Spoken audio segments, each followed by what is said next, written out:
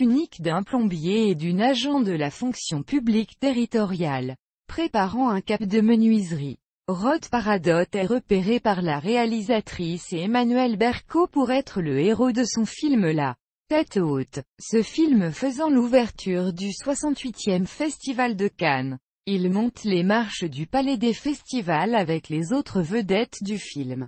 Catherine Deneuve, Benoît Magimel et Sarah Forestier, et est considéré comme la révélation de ce festival 2015. Le 26 février 2016. Il reçoit le César du meilleur espoir masculin pour son rôle dans La Tête Haute. Rod Paradot a confirmé, lors de plusieurs interviews données en marge de la 41e cérémonie des Césars, qu'il sera à l'affiche du prochain film de Xavier Beauvois, dont le tournage a débuté en juillet 2016.